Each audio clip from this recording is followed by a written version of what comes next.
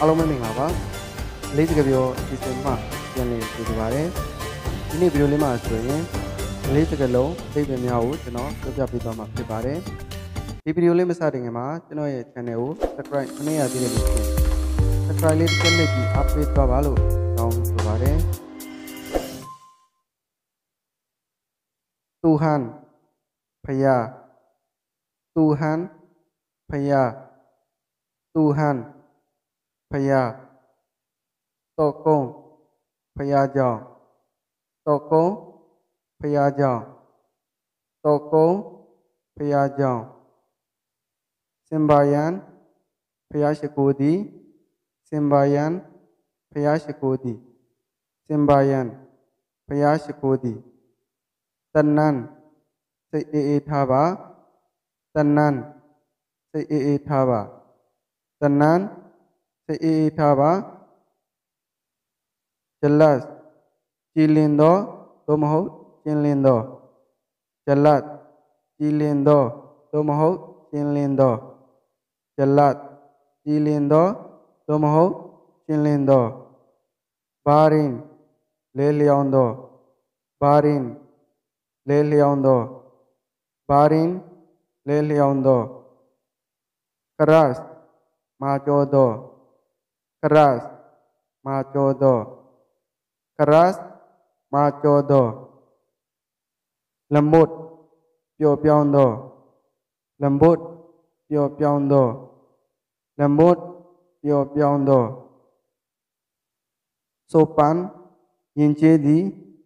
sopan. Yencedi sopan. Yencedi kurang aja yang sandi ကျေးသည်ဆိုပန်ယင်ကျေးသည်ဆိုပန်ယင်ကျေးသည်ကိုရန်အာကြရိုင်းဆိုင်သည်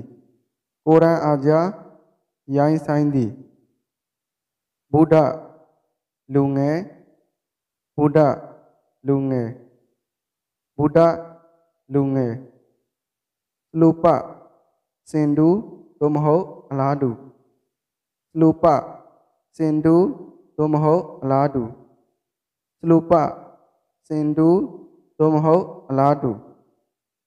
susa, kakedo. Susa kakedo. Susa, kakedo. Sanan, luedo.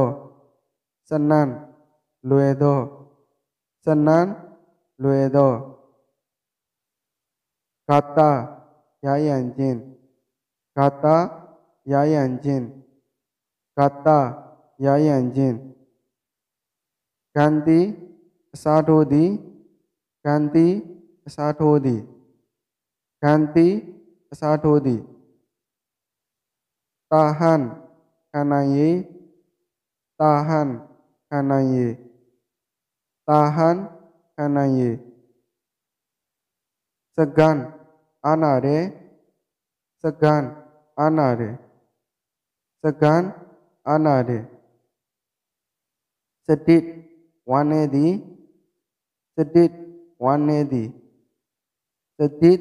wanedi janji gedi janji gedi janji gedi kemas tata yaya. Kemas tata yaya. Kemas tata yaya. Layu nyunuando layu သည်ဂန္တိအစားထိုးသည်ဂန္တိအစားထိုးသည်တာဟန်ခံနိုင်ရေတာဟန်ခံနိုင်ရေတာဟန်ခံနိုင်ရေစကန်အာနာရေစကန်အာနာရေစကန်အာနာရေစတိဝါနေသည်စတိဝါနေသည်စတိဝါနေသည်ဂျန်ကြီးဂတိဂျန်ကြီးဂတိဂျန်ကြီးဂတိကမတ်တတရရကမတ်တတရရကမတ်တတရရလာယုညှိုးနွမ်းသောလာယုညှိုးနွမ်းသောလာယုညှိုးနွမ်းသောကာရတ်